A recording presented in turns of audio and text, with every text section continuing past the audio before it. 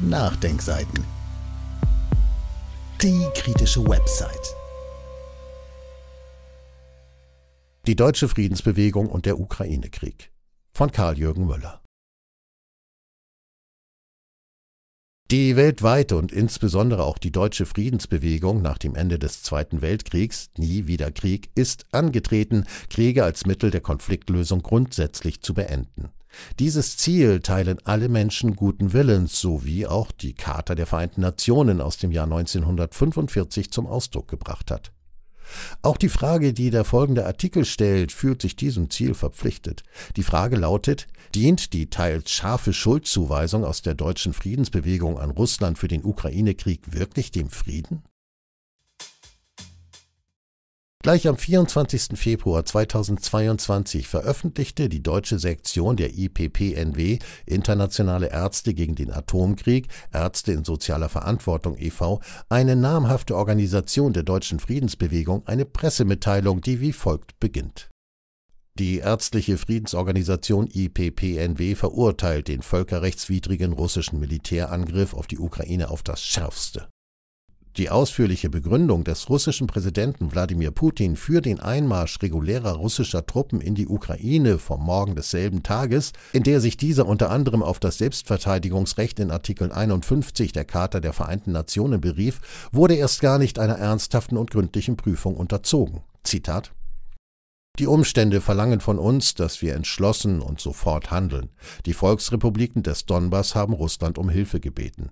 In diesem Zusammenhang habe ich gemäß Artikel 51 in Kapitel 7 der Charta der Vereinten Nationen mit Genehmigung des Russischen Föderationsrates und in Übereinstimmung mit den von der Bundesversammlung am 22. Februar dieses Jahres ratifizierten Verträge über Freundschaft und gegenseitigen Beistand mit der Volksrepublik Donetsk und der Volksrepublik Lugansk beschlossen, eine Militäroperation durchzuführen.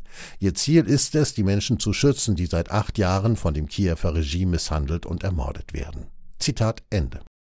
Unberücksichtigt blieben auch die vielen Tatsachen aus den Jahren, Monaten, Wochen und Tagen vor dem 24. Februar 2022, die die Verantwortlichen in Russland zu dem nachvollziehbaren Schluss hatten kommen lassen, dass das Leben russischer Staatsbürger und die staatliche Integrität Russlands von der Ukraine und der NATO ernsthaft und akut bedroht waren. Die Auflistung dieser Tatsachen soll an dieser Stelle nicht wiederholt werden. Verwiesen sei hier auf die Ausführungen von Jacques Beau Putin, Herr des Geschehens, insbesondere die Seiten 105 bis 202. Seit dem 24. Februar 2022 haben viele Erklärungen der deutschen Friedensbewegung ähnlich lautende Urteile über das russische Vorgehen formuliert, wie die deutsche Sektion des IPPNW. Das gilt auch für den bislang wohl am meisten unterstützten Aufruf aus der deutschen Friedensbewegung, den von Sarah Wagenknecht und Alice Schwarzer initiierten Aufruf Manifest für den Frieden vom 10. Februar 2023. Ihn haben mittlerweile mehr als 800.000 Menschen unterschrieben. Aber die außerordentlich wichtige Vorgeschichte des 24. Februar wird in diesem Aufruf ganz ausgeblendet. Eine der wenigen wichtigen Ausnahmen in der deutschen Friedensbewegung bildet die öffentliche Stellungnahme des früheren Kanzlerberaters von Willy Brandt Albrecht Müller, heute Herausgeber der Nachdenkseiten vom 19. Juli 2022. Zitat es gibt immer wieder Artikel und Videos, in denen die westliche Politik in Sachen Ukraine und Russland kritisch hinterfragt wird. Aber ganz selten kommen diese Beiträge ohne die Beschwörung der allgemeinen Empörung über Russlands Krieg in der Ukraine aus. Auch wenn das gar nicht zum Thema gehört, fallen die entsprechenden Worte völkerrechtswidriger Überfall, menschenverachtender Angriffskrieg, Putinskrieg und so weiter. Viele dieser Beschwörungen sind keinesfalls korrekt. Sie missachten, dass die Geschichte verkürzt erzählt wird, wenn der Beschluss der Ostukraine durch das ukrainische Militär nach 2014 nicht berücksichtigt wird. Viele gute Beiträge, auch solche in den Nachdenkseiten, werden so relativiert, aus meiner Sicht oft auch entwertet. Zitat Ende. Die Bedeutung der Friedensbewegung. Dass die deutsche Friedensbewegung noch nie in ihrer über hundertjährigen Geschichte Kriegsvorbereitungen und Kriege verhindert hat, mindet nicht ihr ehrenwertes Anliegen. Dieses Anliegen entspricht dem Grundbedürfnis menschlichen Lebens.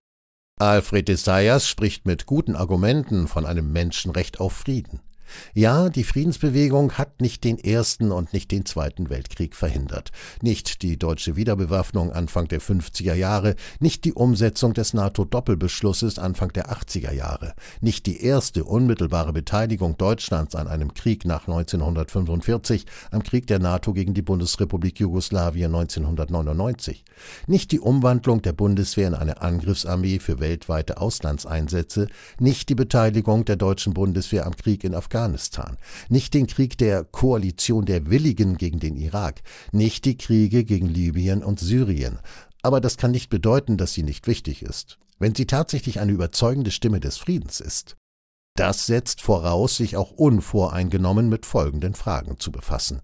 Was schafft tatsächlich Frieden? Welchen Beitrag dazu leistet die deutsche Friedensbewegung? Gibt es etwas, das die Friedensbewegung davon ablenkt, das menschliche Grundbedürfnis Frieden, das Menschenrecht auf Frieden ganz ins Zentrum ihrer Bemühungen zu stellen? Die deutsche Politik hat sich für Krieg entschieden. Sicher ist, die derzeitige deutsche Politik hat entschieden, dass Deutschland Kriegspartei ist, auch wenn dies in dieser Klarheit noch immer öffentlich dementiert wird. Aber die Tatsachen sprechen eine klare Sprache.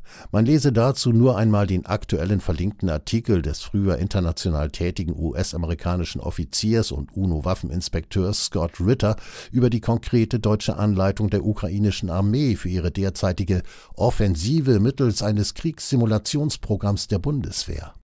Leider ist diese Lektüre für die Deutschen nur über Umwege möglich, denn das Internetportal mit dem Beitrag von Scott Ritter ist in Deutschland verboten. Ein Skandal für ein Land, das sich offiziell auf das Menschenrecht auf Meinungsfreiheit verpflichtet hat.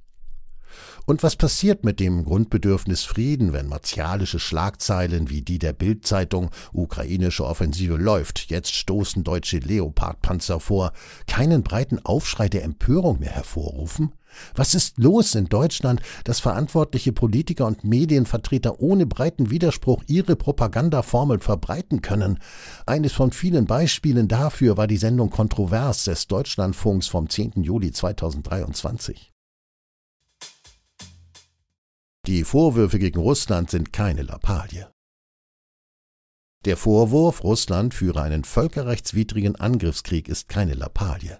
Die Charta der Vereinten Nationen hat in Artikel 2 Absatz 4 festgehalten, alle Mitglieder unterlassen in ihren internationalen Beziehungen jede gegen die territoriale Unversehrtheit oder die politische Unabhängigkeit eines Staates gerichtete oder sonst mit den Zielen der Vereinten Nationen unvereinbare Androhung oder Anwendung von Gewalt.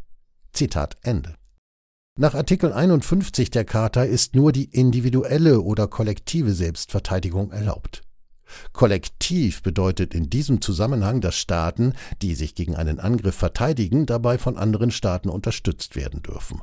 Der Nürnberger Prozess 1945, 1946 und die von der Völkerrechtskommission der Vereinten Nationen 1950 beschlossenen Nürnberger Prinzipien erklärten den Angriffskrieg zum schwersten Kriegsverbrechen, dem alle anderen Kriegsverbrechen fast zwangsläufig folgen. Das deutsche Grundgesetz hat mit seinem Artikel 26 schon die Vorbereitung eines Angriffskriegs für verfassungswidrig erklärt und unter Strafe gestellt. Eine Friedensbewegung, die vom völkerrechtswidrigen russischen Angriffskrieg spricht, muss sich fragen lassen, mit welcher Logik sie die westliche Kriegsführung gegen Russland seit dem 24. Februar 2022 beurteilen will. Die westlichen Kriegsführer werden fragen, ist es nicht legitim, einem völkerrechtswidrig angegriffenen Staat mit allen Mitteln, auch militärischen, beizustehen? Mit anderen Worten, die Formel vom völkerrechtswidrigen russischen Angriffskrieg dient dem Westen vor allem zur Rechtfertigung der Eskalation seines Krieges gegen Russland. Wann ist ein Krieg ein Angriffskrieg? Insbesondere gilt, wann ein solcher Angriffskrieg tatsächlich geschieht oder geschehen ist, das entscheidet auch nicht die Friedensbewegung, das muss sehr gründlich, unvoreingenommen und vorurteilsfrei geprüft werden. Alle notwendigen Dokumente müssen zugänglich sein und gesichtet werden. Der Nürnberger Prozess gegen die 24 Hauptangeklagten des NS-Regimes begann ein halbes Jahr nach dem Ende des Zweiten Weltkriegs und dauerte fast ein Jahr. Die Akten hierzu füllen 5215 Ordner mit 270.000 einzelnen Seiten. Diese können seit 2020 auch online eingesehen werden, verlinkt innerhalb des Artikels. Wie soll es da möglich sein, Russlands Vorgehen in der Ukraine schon gleich am ersten Tag als völkerrechtswidrigen russischen Militärangriff zu beurteilen? An dieser Stelle soll und kann kein völkerrechtliches Urteil über den Krieg in der Ukraine formuliert werden. Und selbstverständlich gilt auch für den Krieg in der Ukraine, die vielen Opfer und die Zerstörungen auf beiden Seiten der Front belegen erneut, dass Krieg immer ein Versagen der Politik und der Menschheit Papst Franziskus ist. Jeder sollte aber auch wissen, wenn der Krieg, ob nun noch kalt oder schon heiß, erst einmal tobt, ist der Vorwurf völkerrechtswidriger Angriffskrieg oftmals eine Propagandaformel, vor allem zur Rechtfertigung der eigenen Kriegsführung, wie schon oben gesagt. Umso wichtiger ist die Forderung nach einer gründlichen und unvoreingenommenen Untersuchung. Dass in Deutschland gegen Bürger, die das offizielle und das Friedensbewegungsnarrativ vom völkerrechtswidrigen russischen Angriffskrieg kritisch hinterfragen, strafrechtlich ermittelt wird und schon erstinstanzliche Strafurteile gefällt wurden, ist eher ein Hinweis darauf, wie stark die deutsche Demokratie unter ihrer Kriegsbeteiligung schon gelitten hat.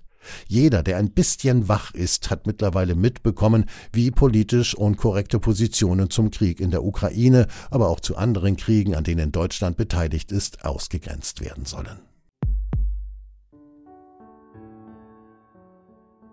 Dieses Audio konnte nur entstehen, weil zahlreiche Leser und Leserinnen die Nachdenkseiten fördern und durch Spenden unterstützen. Wenn Sie auch etwas tun wollen, klicken Sie einfach den entsprechenden Button auf unserer Website an. Übrigens, Sie können uns auch bei iTunes, SoundCloud und YouTube hören und wenn Sie mögen, gerne unseren Kanal abonnieren und eine positive Bewertung für uns abgeben. Wir freuen uns über Ihre Unterstützung und die Weiterverbreitung unserer Inhalte.